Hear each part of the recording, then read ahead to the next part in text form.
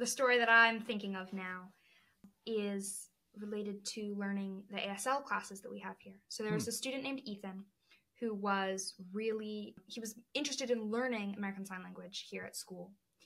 And he wasn't really sure how would be the best way to pursue that at school. So I think he met with one of our staff members and they sort of weren't sure how much the interest would grow at the school.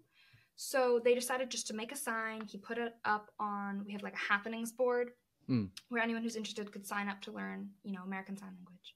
And quite a few people signed up and we started meeting and just learning off of the internet at first. And some people ended up dropping out and whatever, but when we got Mhm. down to this core group of people, we spent months every week meeting every week for like an hour for months learning off of the internet.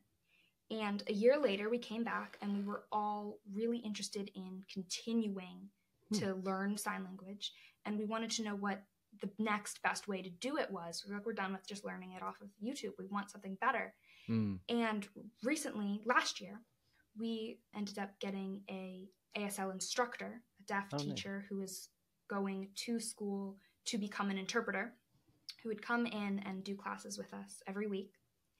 And the student who actually started that is now at college, where some big part of that is his ASL experience. I'm not sure if he's majoring in it, minoring in it, but it's like ASL is one of their big programs there. Hmm. And the amount of people who are learning ASL has just grown since we got the instructor. And so I think it's been really beneficial to the school community to have like this learning experience that so many people are interested in Mm. and have been able to achieve and figure out together like how we could make it happen. Because we had some issues with like how are we going to pay our instructor? Like where's the money going to come from? And what are we going to do with that? Uh huh. And you're able to to go to the school meeting and and get that handled. I take it. We had one of our staff members who's helping us. We figured out she kind of helped us figure out ways that we could get like grants for our instructor. Yeah, and it it also actually, I think, sort of encouraged, but also coincided with a shift in the way that our school government allocates resources and funding. So, um, at the end of last school year, we created something called a resource committee that has a multi thousand dollar budget line item each year, and can any student can go to that, and it's it's a little bit more accessible than a school meeting Mm. To get money to for either materials or or instruction or experiences, help with field trip money, things like that.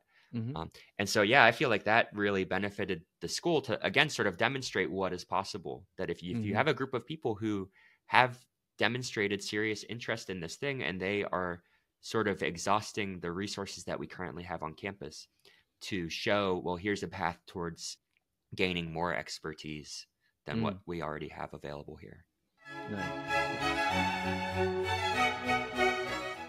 This is the Agentic Schools Vodcast, where you will learn about schools from around the world where children's agency to make decisions about their learning and living is more important than their academic skills. What makes education possible is the satisfaction of psychological needs. So that is what these schools have in common with all others. What makes a school agentic is satisfying those needs particularly well. I'm your host, Don Berg.